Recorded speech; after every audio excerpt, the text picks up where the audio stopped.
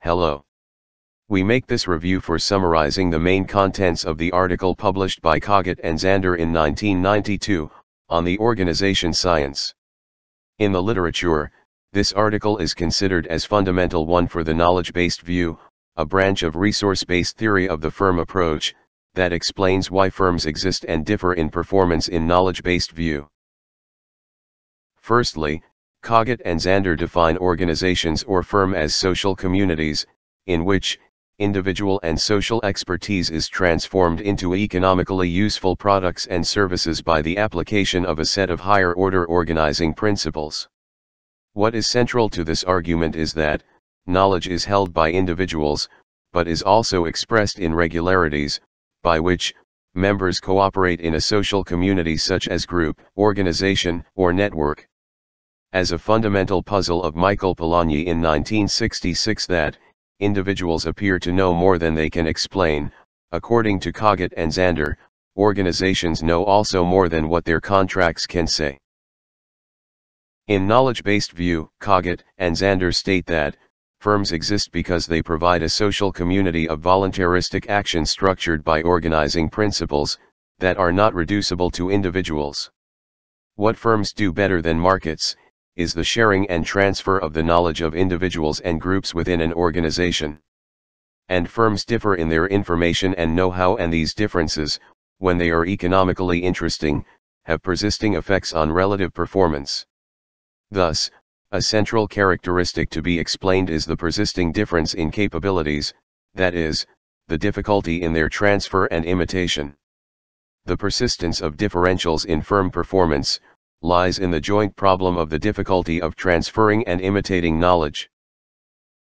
As the core contents of the article, Kogut and Zander develop a model of growth of knowledge of the firm, in which, they categorize organizational knowledge into information and know-how, that are the basis of the growth of knowledge of the firm. We begin by analyzing the knowledge of the firm by distinguishing between information regarding prices, and the know-how, say, to divisionalize. By information, Kogut and Zander mean knowledge which can be transmitted without loss of integrity, once the syntactical rules required for deciphering it are known. Information includes facts, axiomatic propositions, and symbols. Know-how is the accumulated practical skill or expertise, that allows one to do something smoothly and efficiently. Knowledge as information implies knowing what something means. Know-how is, as the compound words state, a description of knowing how to do something. The information is contained in the original listing of ingredients, but the know-how is only imperfectly represented in the description. This distinction of information and know-how corresponds closely to that used in artificial intelligence of declarative and procedural knowledge. Declarative knowledge consists of a statement that provides a state description, such as the information that inventory is equal to 100 books. Procedural knowledge consists of statements that describe a process, such as a method by which inventory is minimized. Know-how, like procedural knowledge, is a description of what defines current practice inside a firm. These practices may consist of how to organize factories, set transfer prices, or establish divisional and functional lines of authority and accountability. The know-how is the understanding of how to organize a firm along these formal and informal lines. It is in the regularity of the structuring of work, and of the interactions of employees conforming to explicit or implicit recipes, that one finds the content of the firm's know-how. There is a need to go beyond the classification of information and know-how, and consider why knowledge is not easily transmitted and replicated. The transferability and imitability of a firm's knowledge, whether it is in the form of information or know-how, are influenced by several characteristics. Consider the two dimensions of codifiability and complexity of knowledge. Codifiability refers to the ability of the firm to structure knowledge into a set of identifiable rules and relationships, that can be easily communicated. Coded knowledge is alienable from the individual who wrote the code. Not all kinds of knowledge are amenable to codification. Complexity, from a computer science perspective, can be defined as the number of operations required to solve a task. Codifiability and complexity are related, though not identical. It is obvious that, the number of parameters required to define a production system is dependent upon the choice of mathematical approaches or programming languages. For a particular code, the costs of transferring a technology will vary with its complexity. A change of code changes the degree of complexity. So, Kogut and Zander underline the presumption that, the knowledge of the firm must be understood as socially constructed, or more simply stated, as resting in the organizing of human resources. And the capabilities of the firm are argued to rest in the organizing principles, by which, relationships among individuals, within and between groups and among organizations, are structured. The issue of the organizing principles, that underline the creation, replication, and imitation of technology, opens a window on understanding the capabilities of the firm as a set of inert resources, that are difficult to imitate and redeploy. For explaining how firm learn and develop their organizational knowledge, Kogut and Zander introduce the concept of combinative capability, that means the intersection of the capability of the firm to exploit its knowledge and the unexplored potential of the technology. They develop a dynamic perspective by suggesting that, creating new knowledge does not occur in abstraction from current abilities. Rather, New learnings such as innovations, are products of a firm's combinative capabilities to generate new applications from existing knowledge. In other words, firms learn new skills by recombining their current capabilities. Knowledge advances by recombinations, because a firm's capabilities cannot be separated from how it is currently organized. As Schumpeter argued that, innovations are new combinations of existing knowledge and incremental learning. As widely recognized, firms learn in areas closely related to their existing practice. As the firm moves away from its knowledge base, its probability of success converges to that for a startup operation. The abstract explanation for this claim is that the growth of knowledge is experiential, that is, it is the product of localized search as guided by a stable set of heuristics, or in our terminology, know-how and information. It is this local search that generates a condition commonly called path dependence, that is the tendency for what a firm is currently doing to persist in the future. Because new ways of cooperating cannot be easily acquired, growth occurs by building on the social relationships that currently exist in a firm. What a firm has done before tends to predict what it can do in the future. So, the firm serves more than mechanisms by which initial social knowledge is transferred, but also by which new knowledge, or learning, is created through its combinative capability. This capability is grounded as localized learning to path dependence, by developing a microbehavioral foundation of social knowledge, while also stipulating the effects of the degree of environmental selection on the evolution of this knowledge. Theoretically, if knowledge is only held at the individual level, then firms could change simply by employee turnover but we know that hiring new workers is not equivalent to changing the skills of a firm, so, an analysis of what firms can do must understand knowledge as embedded in the organizing principles, by which people cooperate within organizations. This figure allow us to discuss the distinction between the knowledge of an individual and that of the organization, and the transformation of personal to social knowledge. Individuals can be skilled in certain activities, such as driving a car or playing tennis. These skills may indeed be difficult to pass on. In fact, it is the problem of communicating personal skills, that underlies Polanyi's well-known idea of tacit knowledge, an idea similar to the dimensions of non-codifiable and complex knowledge. As noted earlier, the central puzzle is why do individuals know more than they can express. The teaching of know-how and information requires frequently, interaction within small groups and often through the development of a unique language or code. Part of the knowledge of a group is simply knowing the information who knows what. But it also consists of how activities are to be organized, example by Taylorist principles. It is the sharing of a common stock of knowledge, both technical and organizational, that facilitates the transfer of knowledge within groups. By shared coding schemes, personal knowledge can be transmitted effectively within close-knit groups. Personal knowledge can be transmitted because a set of values are learned, permitting a shared language by which to communicate. It is this language which provides a normative sanction of how activities are to be organized, or what information is to be collected and evaluated. But whereas the accumulation of small group interactions facilitate the creation of shared coding schemes within functions, a fundamental problem arises in the shifting of technologies from research groups to manufacturing and marketing. At this point, the identification with a professional orientation conflicts with the need to integrate within the organization. The problems of different professional languages are attenuated when technology transfer is horizontal. To facilitate this communication, certain individuals play pivotal roles as boundary spanners, both within the firm as well as between firms.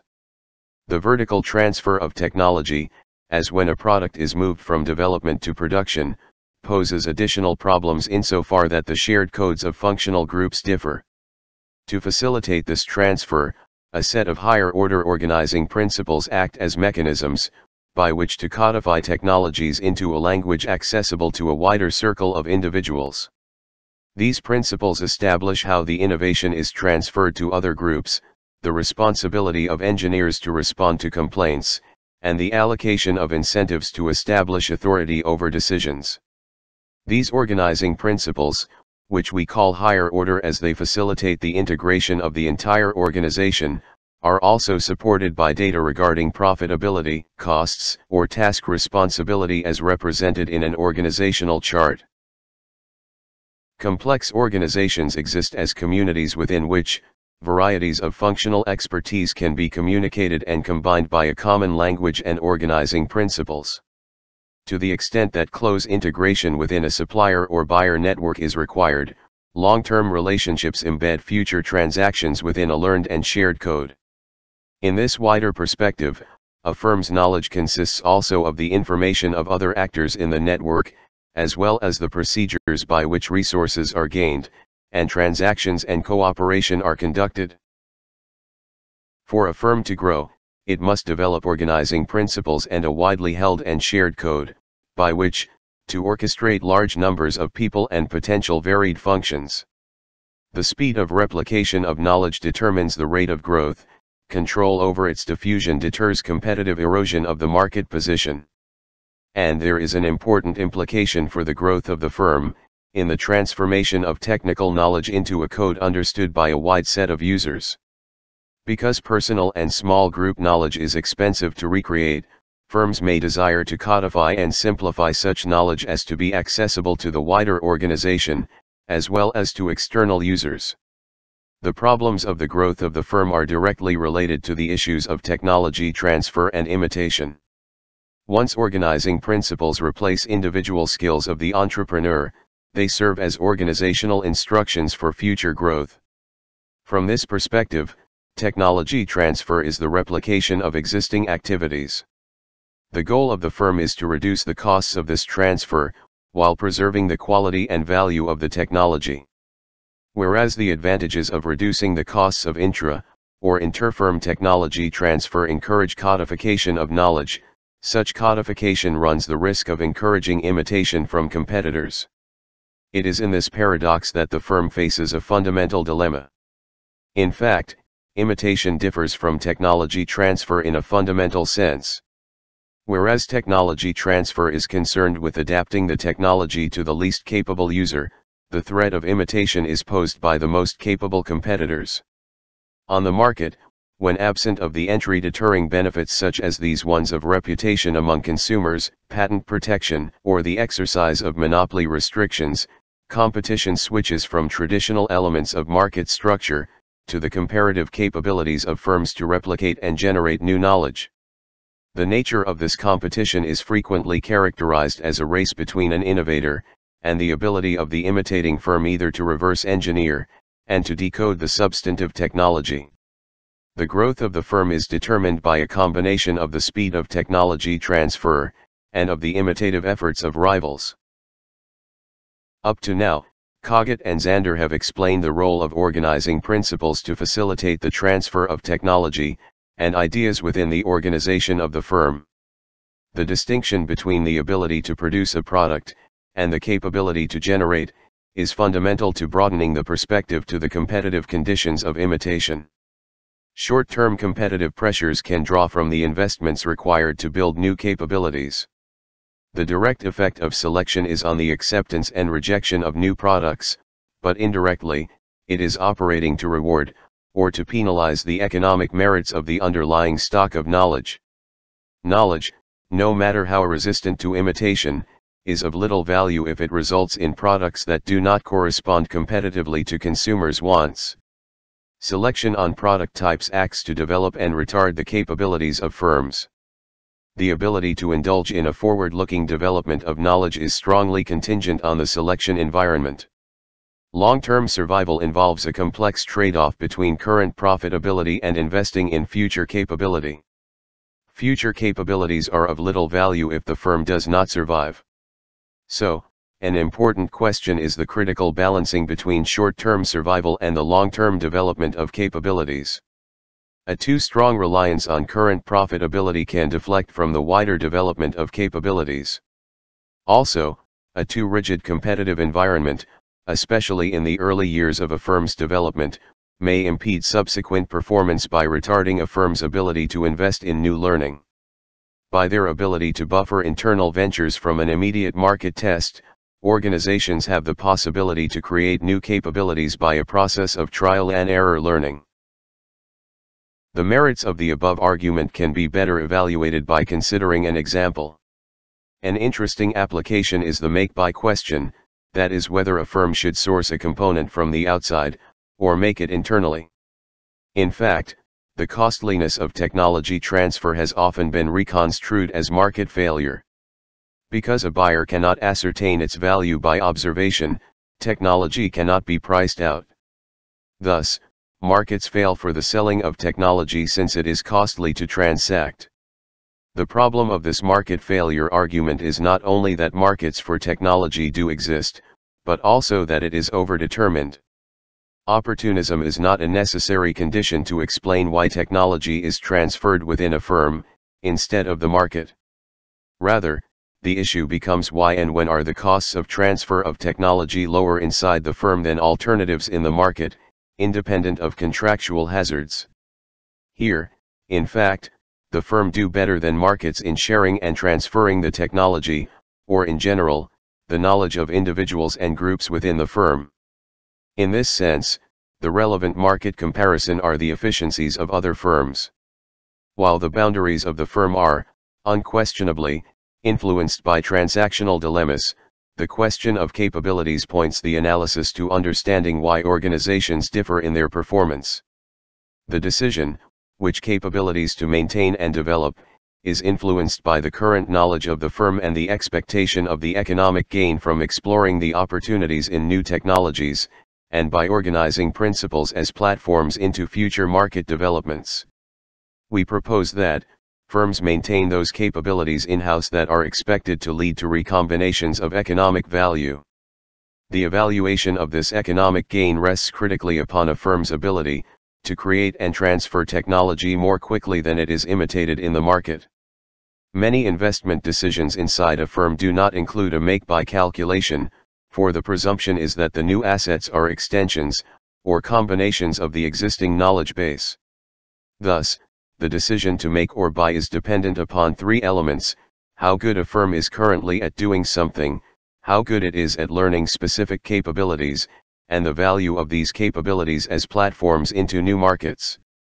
Similar propositions could be made in reference to other applications, such as acquisitions, the composition of a technology portfolio, and the sequence by which a firm invests in a foreign market.